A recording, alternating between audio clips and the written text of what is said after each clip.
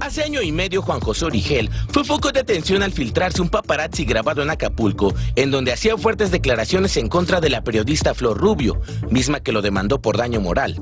Después de meses de librar una batalla en los juzgados, Juan José Origel compartió con el público de hoy que está dispuesto a agotar todas las instancias para limpiar su nombre.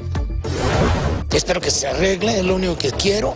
Y ya estar tranquilo, ¿me entiendes? Pero si lo que quieren es que pida que una que ofrezca una disculpa, no tengo ningún inconveniente en ofrecerla. En dado caso de que te pida algún resarcir el daño con alguna cantidad económica, ¿estás dispuesto a abrir esta posibilidad o, estás dispuesto a negociar? O... La palabra lo tiene el juez.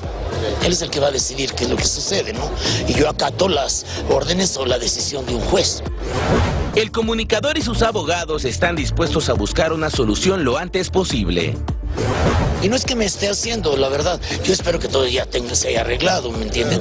Y que me digan lo que tengo que hacer. Yo, si es una disculpa, yo no tengo problemas en pedirle una disculpa a nadie, ¿me entiendes? Digo, ¿por qué? ¿Qué se te quita? ¿No? La verdad.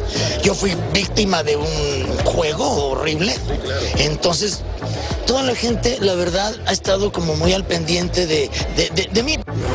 Pepillo lamenta que a raíz de este escándalo existe una campaña de desprestigio en su contra en un caso en el que asegura fue víctima de espionaje por parte de las personas que filtraron dicho video. Yo no me di cuenta de lo que estaba sucediendo. Yo lo hice inconsciente, mal. Un error de mi vida, ¿no? Como muchas veces tenemos todos errores. Entonces sí que me digan, no, no, no, yo, yo, yo mira, soy una persona que, que la verdad me duele cuando suceden estas cosas, ¿no? Y sobre todo con alguien que fue una compañera que, que, que duré muchos años trabajando juntos y, y qué triste, ¿no? Que haya pasado esto. Para hoy, Ernesto Buitrón.